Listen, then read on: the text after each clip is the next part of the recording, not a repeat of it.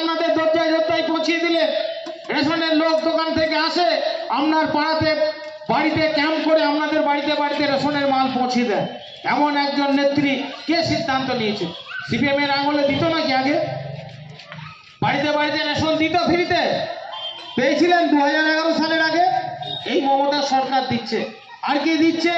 আপনাদেরকে বিভিন্ন রকমের সুযোগ সুবিধা, কৃষক বন্ধু, আপনার বাড়ির ছেলেমেয়েরা যারা স্কুলে পড়তে তাদের সবুজ সাথী সাইকেল, যারা কন্যাশ্রী আঠারো বছর বয়স হয়, তাদের কন্যাশ্রী পঁচিশ হাজার টাকা। যারা আঠারো বছর পরে যে মেয়েদের বিয়ে হয়, সে লেখাপড়া করুক, চাহে না করুক, তার জন্য পঁচিশ হাজার টাকা। এরকমভাবে মমতা বন্দ্যোপাধ্যায়ের মমতা